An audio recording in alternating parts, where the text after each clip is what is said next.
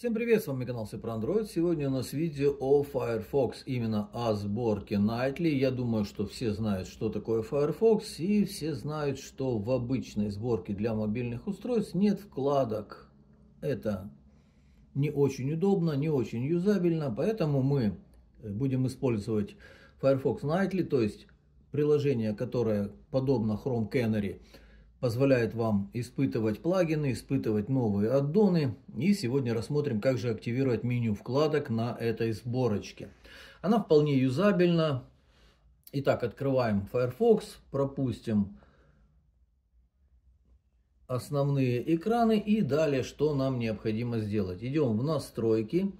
В настройках выбираем пункт, который называется о Firefox Nightly. Выбираем здесь и тапаем несколько раз по версии сборки, пока не получим уведомление, меню отладки включено. Далее возвращаемся назад. Теперь у нас в меню настроек появится новая вкладка, которая называется Secret Setting. И в этом меню поставить галочку на Enable Tab Strip. Теперь мы переходим назад и у нас появляется добавление вкладок. То есть вы можете